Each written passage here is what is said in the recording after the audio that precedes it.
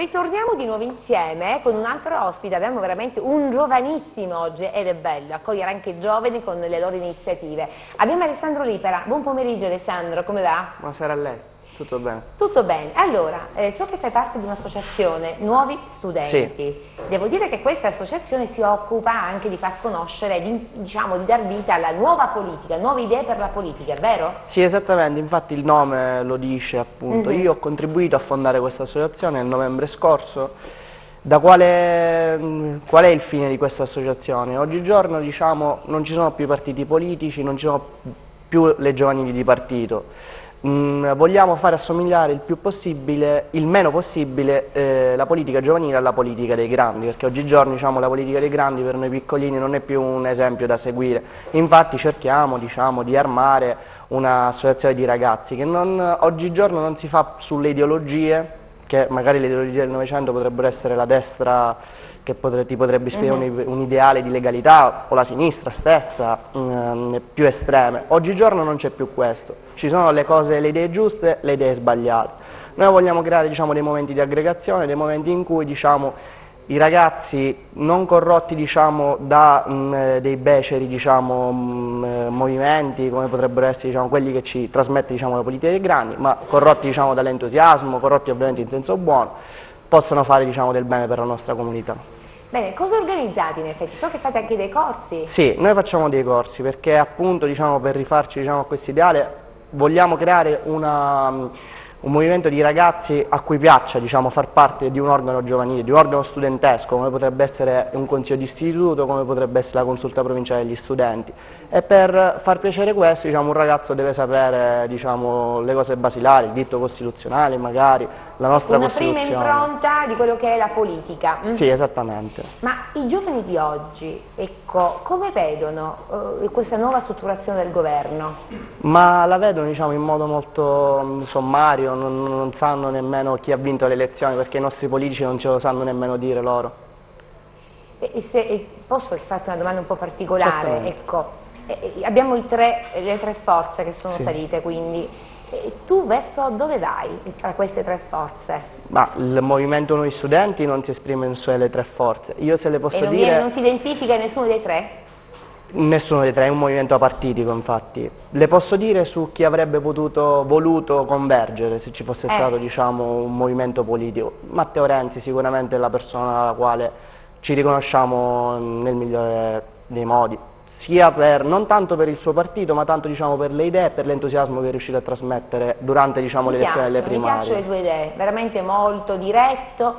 E per Catania, per esempio, ecco, cosa bisogna cambiare e poi, o siamo vicini alle elezioni, che tipo di sindaco vedresti? Questa è una domanda molto difficile. Io mi aspico un sindaco, non dico giovane dal punto di vista anagrafico, ma giovane nelle idee un sindaco che magari riesca a creare diciamo, dei, degli spazi di aggregazione tra i giovani. Infatti il nostro Consiglio Comunale ha deliberato 3-4 anni fa, se non sbaglio, l'attuazione diciamo, delle comunità giovanili.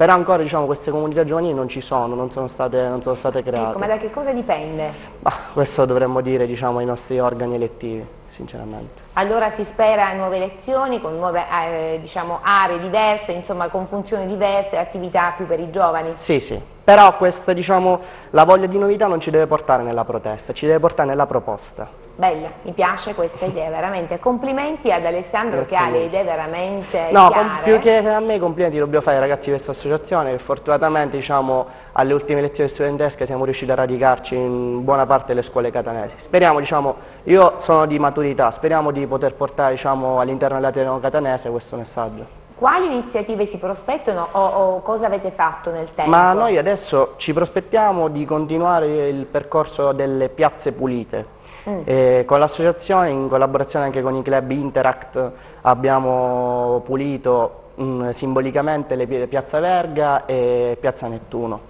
che sono diciamo, delle Piazza Verga in modo particolare una delle piazze che non rientra nei piani di pulizia del comune. Successivamente dovremmo, vorremmo andare anche diciamo, a pulire le piazze diciamo, delle, dei quartieri più disagiati della città. E fai un esempio, quale per esempio? Eh, penso agli esempi diciamo, ne abbiamo di tantissimi, comunque Librino in primis diciamo, è uno... ecco, sì, anche per ritornarci diciamo, al filone comunque il muro della bellezza, comunque tutte queste iniziative diciamo, al Librino hanno lasciato un impatto importante, vorremmo anche noi partecipare per dare il nostro contributo. Quanti siete in questa associazione? Ma un, una stima non l'abbiamo fatta, siamo radicati comunque in 10 uh, scuole diciamo, nella provincia catanese. Non avete una sede fissa? Mm, ci appoggiamo diciamo, sulle sedi dei genitori, magari il, chi ha il papà medico ci presta l'ufficio, chi ha um, anche da noi abbiamo partecipato in studio. Ah, eh, ah, ho col papà avvocato, giustamente, giusto. guarda caso. Belle iniziative devo dire. Allora, e invece tu mi dicevi che si prospettano per giugno qualche altra cosa, qualche altra attività? Sì, dovremmo appunto continuare col percorso di Piazza Pulita. Ora ancora siamo in un periodo di studio purtroppo. Adesso... Se i giovani, avendo visto questa tua attività, vogliono avvicinarsi a te, cosa fare? O alla tua associazione? Sì, anche tramite Facebook. Molto tramite semplice. Facebook, tramite cosa fare? Cercare di ho il mio profilo, Alessandro Libero, oppure il profilo dell'associazione che è Nuovi Studenti semplicemente, lo allora, si trova. Eh. Io direi di aggregarci veramente perché ho ragazzi in gamba, quindi Associazione Nuovi Studenti su Facebook o Alessandro Libera. Grazie per il tuo intervento, in Grazie gamba, veramente continua così, idee veramente giuste e secondo me dobbiamo dare spazio anche ai giovani, è giusto che sia così. Ma adesso avvocato, sai che facciamo? Vediamoci il video di quella sera che siamo usciti, eh? Vediamolo insieme. Avvocato, ma dove mi sta portando? È un posto fantastico. Fantastico? Ma dove siamo qui? Siamo all'Ostier, una volta si chiamava Tramezzino, adesso è l'Ostier. L'Ostier. C'è un, il, il, il, titolare qui che oltre ad essere un, un, amante della gastronomia, poi è sommeliere, una cosa, un uomo raffinato. Mamma meraviglia! Oh, ma, ma guarda un po'! Buonasera! Buonasera, piacere. Pronte le bottiglie? Bene, allora entriamo.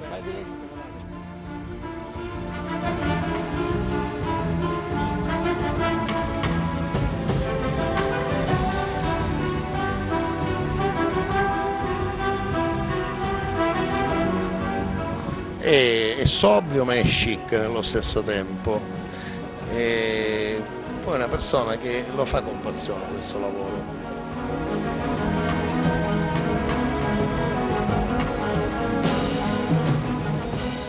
Questo locale esiste da eh, 8 anni circa con una gestione mia e da 10 anni prima era un'altra gestione, un altro locale, si chiamava il Carano.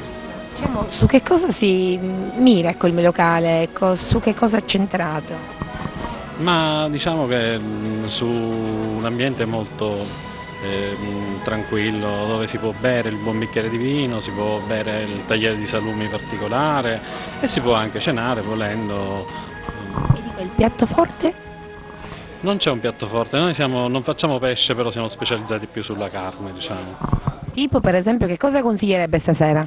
Stasera c'è un ottimo stracotto al barolo, ehm, c'è un hamburger di chianina ehm, con eh, guanciale proprio di ehm, maialino di cinta senese. ci sono, che variamo spesso i piatti, non c'è un piatto specifico che teniamo sempre in carta. Avvocato, eh, dobbiamo assaggiare anche queste cose? No, lui, lui, è un tipo modesto, eccetera. Per me è un'enoteca eccezionale. Qua non ci sono vini italiani o esteri che non, che non sono presenti, quindi il piacere veramente di degustare. Il vino migliore che avete?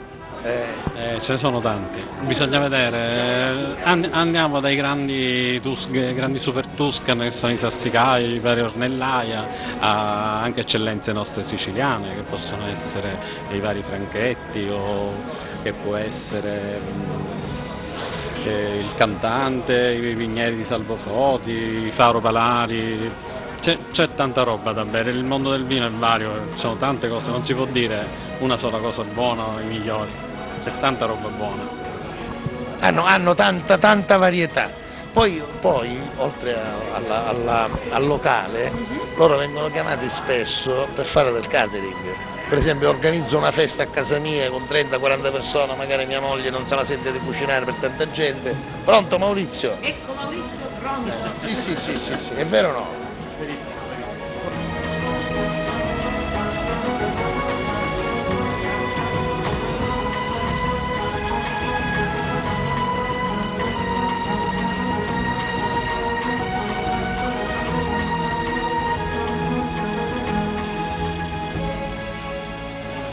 Ottimo, ottimo, un profumo meraviglioso.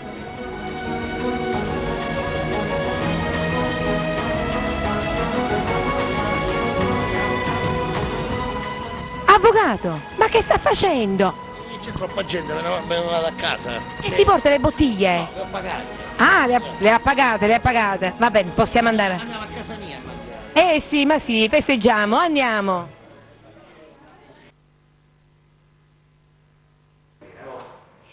Eh, eh, siamo, siamo di nuovo insieme, Eh, veramente ridacchiavamo simpaticamente sul video, eh? Devo dire che lei veramente, avvocato, gli piace il vino, è un buon intenditore, eh? Bene, bene, eh, Totò, avvicina, avvicina, facci, ecco, Oh signora, le è arrivata la colomba! eh? E, e che ha portato anche soldi? È di buon auspicio, eh? Ah, è di buon auspicio! Bene, bene, che ce ne siano tanti, ma tanti di questi, e ce ne vogliono. Bene, bene, prego, prego, eh, prendete pure. Avvocato, non faccia complimenti, Dario. Ma mentre voi mangi- mangiucchiate io faccio così, ecco, presento i due ospiti di oggi che completeremo così la trasmissione. Abbiamo con noi il presidente provinciale Arcigay, Calogero Giovanni. Buon pomeriggio. E insieme abbiamo anche un insegnante che si chiama Santa Fresta. Buon pomeriggio anche a voi. Allora, eh, oggi siamo qui per completare quell'argomento sull'Arcigay. No, no, mm? eh, volevo che si- Eh, parlavamo, Dario, a te la parola a questo punto, no? certo. Eh, discutevamo a volte scorse, Ah, ci delle, delle divergenze ecco, tra questi gruppi e magari con la Chiesa, per esempio. Eh? Eh, mm, sì, infatti, ma non sono delle divergenze, sono completamente delle cose opposte, però non c'è oggi, qui abbiamo la persona più deputata a raccontarci un pochettino quali sono diciamo, le posizioni della Chiesa e le posizioni anche di Arcigay, sia il comitato di Catania che quello nazionale, perché eh, il professore Calogero è anche consigliere nazionale di. Quindi io direi subito di per dare chi, la parola. allora, per chi non sa che significa, perché può capitare, Sì. eh, che cos'è l'Arcigay? Professore, lo- spieghiamo? Allora, l'Arcigay è un'associazione di carattere nazionale composta da militanti, volontari e volontari che prestano la propria attività, il proprio servizio politico di militanza a titolo assolutamente gratuito e, e ha dato vita a una rete estesa su tutto il territorio nazionale. Noi contiamo circa 60 comitati territoriali, il comitato territoriale è quello che presiede una provincia o più province, Catania per esempio da me dipende anche Enna e Caltanissetta, perché lì non esiste un comitato territoriale specifico, per cui sono accorpate a noi. E ogni comitato svolge, mh, il nostro statuto è abbastanza ampio e molto articolato, consente delle autonomie e delle liber- libertà a ciascun comitato di prendere delle iniziative, ovviamente con un raccordo nazionale che sia all'unisono con la politica che noi facciamo nelle scuole, per la sanità, per i diritti. Per Ecco, i diritti. esattamente. Diritti che magari qui in Italia sono diversi, ecco stiamo parlando di diritti acquisiti rispetto all'Europa, è vero? Assolutamente. E al- già in Italia però lo scorso anno una sentenza della Suprema Corte di Cassazione ha deliberato che nulla osta al matrimonio anche fra persone same sex, cioè eh, persone dello stesso sesso. Il problema la Cassazione l'ha rinviato al Parlamento. Non è un problema di, di legge o di Costituzione italiana, l'articolo 3 è chiarissimo al riguardo.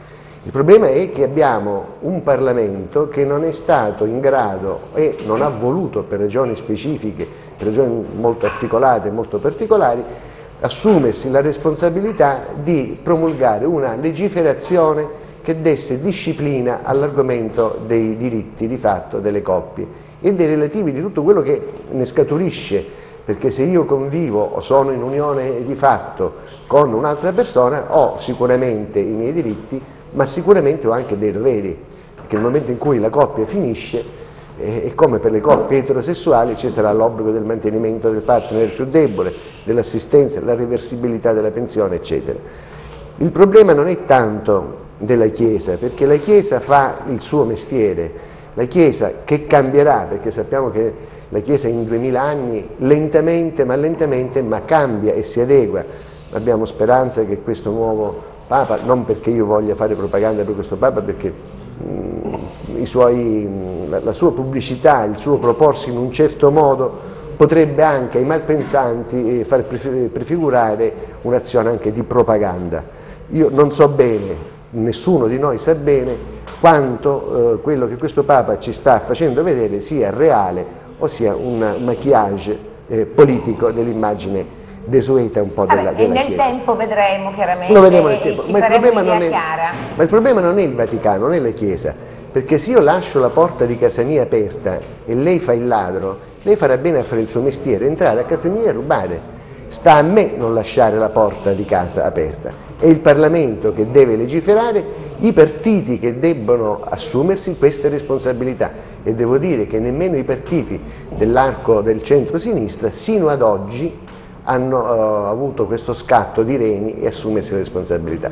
Ste- la stessa proposta che stiamo leggendo in questi giorni del segretario Bersani, che è sicuramente interessante, costituisce un passo avanti, ma il, il modello tedesco non è esa- esattamente la piena equiparazione del matrimonio. Se siamo di cittadini con, eh, tutti uguali davanti alla legge e alla Costituzione, anche il matrimonio deve essere esattamente uguale per tutti quanti. Non è un problema di nominalismo. A me personalmente il matrimonio non frega nulla, proprio non sono interessato. Per. Tanto per fare una nota di colore, come diceva Paolo Poli, io nel mio letto preferisco un marinaio e non un marito. Questa è una nota di colore. Ma eh, non, non sono interessato. Però è giusto che chi si vuole sposare, chi abbia questo, questo istinto, questa tentazione, questa debba soddisfare anche questa esigenza e lo Stato laico deve eh, rispettare anche queste esigenze, se è vero come è vero che la Costituzione all'articolo 3 promulga la piena parità dei diritti e l'uguaglianza dei, dei diritti di Principio dell'uguaglianza. Io vorrei Questo sentire ci Santa, ecco. Io ho da dire una cosa in proposito, non sono contraria per il matrimonio, Grazie. però sono contraria per una cosa, essendo io un eh, docente, eh, sono contraria al fatto che una volta avvenuto il matrimonio si possano adottare dei bambini, perché si danno degli esempi eh, sbagliati in quanto la coppia non è una coppia fatta, diciamo, Tradizionale. papà tradizionale. Quindi questo secondo me è un appunto proprio perché Questo è un argomento, devo dire, un po' scottante. ecco, molto molto scottante. che in effetti già abbiamo in qualche modo tastato la L'altra scorsa volta, esatto. ecco, trasmissione e devo dire che non è facile da gestire, è vero, è vero. E, mh, avvocato, io vorrei sentire anche lei a questo punto. Allora, io sono per la libertà, per la libertà, quindi se uno, se uno vuole sposare, un, un uomo vuole sposare un altro uomo, una donna vuole sposare un Sì, altro ma il problema non è- lede certamente i, Eh, ma il discorso i- i diritti era della tanto- collettività, Ma eccetera. il discorso non era tanto della libertà Allora, del ci arriviamo, ecco. ci arriviamo, ci arriviamo. Seguirei la natura. Può capitare a un giovane, giovane uomo di rimanere vedovo. Mm. E eh, quindi ha, ha della prole minore, rimanere vedovo e magari ha un fratello, diciamo. Questi figli, questi bambini crescerebbero con lui e il fratello. Se l'ha stabilito la natura che questo può succedere, a volte capita. Certo, Lo zio, lo zio, certo. lo zio. E infatti io, io non riesco ad avere, eh, ho questa forma mentale, non riesco purtroppo a, a dissociarmi, non riesco ad avere pregiudizi nei confronti di alcunché. È più forte di me, quindi io non, non- Ma poi come principio non sono, non sono Ma forse in per la veste che porta o... non è la mia forma mentale proprio, sono fatto così, sono per la libertà. A volte può capitare che due genitori etero stanno male di testa, ad esempio, è una cosa molto più grave. Quindi lascerei alla natura. Se, se capita un'esigenza del genere, capitano due, due donne, due uomini che vogliono adottare dei bambini, hanno quei- quel requisito d'amore. Io non ci vedo nulla di male, non- non- ovviamente non sono il profeta, quindi posso anche sbagliare. Certo, però gestire due papà, un bambino è, è complicato, devo dire. eh. perché È ce lo fanno complicato. apparire così Complicato. i media, i due papà, le due mamme, Non le due penso- mamme. non penso che dirà Però papà io- due persone, eh, infatti, bambino, dove, no. dove c'è No. amore, penso che un bambino cresca. Questo è anche vero, questo è anche vero, sì, la base importante è che ci sia l'amore. Esatto. Ecco. E Totò, avvicina, avvicina, porta un po' di limoncello, ecco, assaggiamo qualcosina così magari ecco, il nostro linguaggio si scioglie meglio, magari con un po' di alcol. Questo lo lascio. E, e sì, magari mh, ecco, Ai nostri sì, ai ospiti. nostri ospiti ecco, diamo anche qualcosina, facciamo assaggiare così anche per loro, si scioglie bene il linguaggio, così eh, siamo più diretti, no? Mm?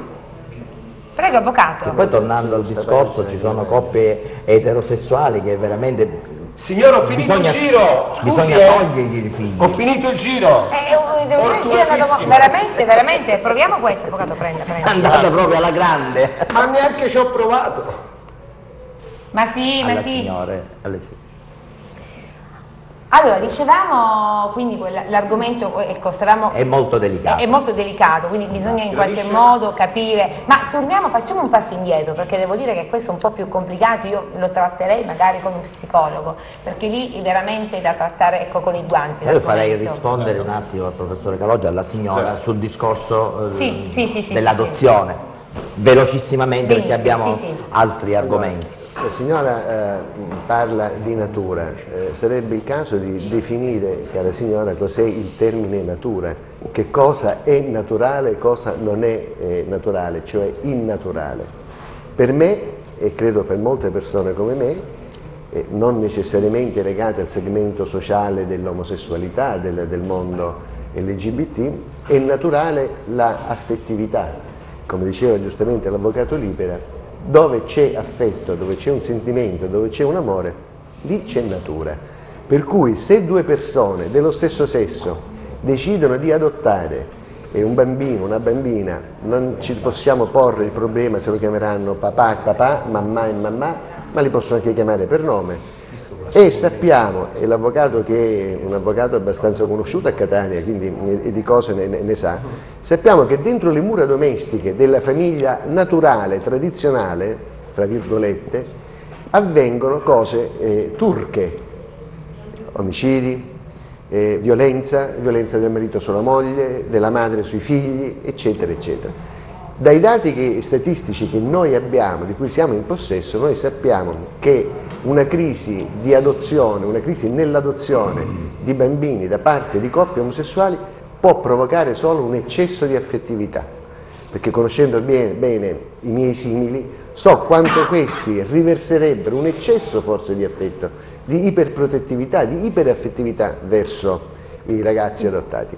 Però volevo precisare un'altra cosa, l'Arcigay, eh, perché pensavo e riflettevo alle cose che diceva il, il giovanotto il, che c'era prima di me. Alessandro Libera. Alessandro Libera. E Arcigay non si occupa solo di matrimonio, di diritti, di pride, eccetera. Arcigay è un'associazione politica che produce cultura, produce pensiero, produce politica. Lui giustamente ha detto, ha parlato delle ideologie che vengono superate. Il solco politico nel quale noi ci muoviamo e intendiamo muoverci a Catania in particolare, ieri sono stato a una, non dico eh, dove, ma una convention che riguardava il turismo e la cultura a Catania da parte di un gruppo che si sta proponendo alle prossime amministrative e ho fatto un intervento al riguardo. E le ideologie ormai da tempo che sono finite, l'ideologia comunista, l'ideologia socialista, l'ideologia fascista, eccetera. Oggi ci sono dei modelli sociali e politici che eh, più eh, trasver- trasversali, eh, che vanno a colpire sensibilità e culture diverse. Noi come Arcigay abbiamo il dovere e la sensibilità di cogliere in questo movimento trasversale, soprattutto nei giovani, non necessariamente gay, infatti noi la nostra sede qua che è in via Vittorio Emanuele 245 è aperta a tutti, A tutti, ecco. noi C'è accogliamo, spazio pure per noi etero? Uh, assolutamente siete benvenuti, siete Bene, benvenuti. io direi di fermarci qui perché purtroppo il tempo vola, soprattutto con questo argomento. Io non so se devo mandare la pubblicità. Sì, mandiamo la pubblicità.